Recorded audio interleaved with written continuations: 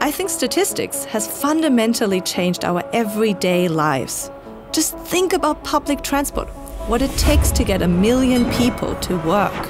Yeah, you can always hear the gears turning, crunching all this data. Exactly, so many things to consider. Yeah, there's the weather, uh, rostering the drivers on, um, thinking about if there's track works. Yeah, but to a normal person, this totally appears seamless. Yeah.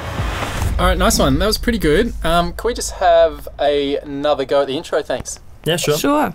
My name is Saskia, And my name's Nick. and you're listening to Credibly Curious, a podcast about statistics. And the programming language R.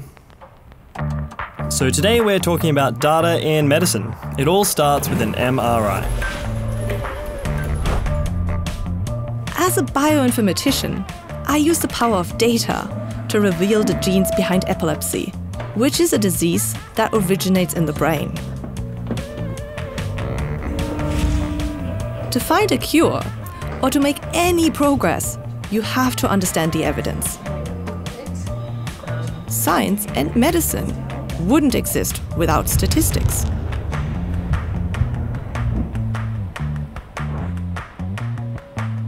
In this case, the cells with epilepsy produce different amounts of molecules.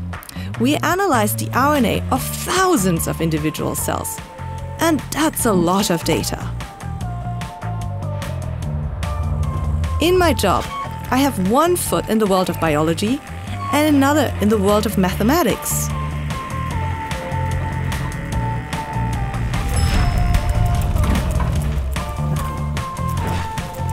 I have got two groups of cells. Only one of them causes epilepsy. But just like in court, I have to assume that they're all the same. No one is guilty until proven otherwise. To best show the guilty cells, statistics borrows from art and design. A good graph should be simple and beautiful. The data should speak for itself.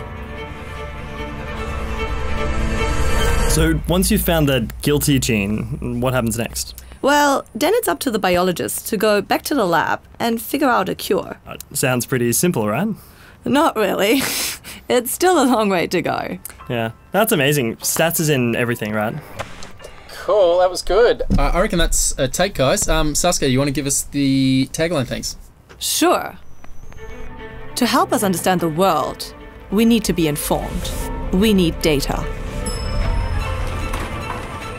With statistics, we can better analyze why and how things happen.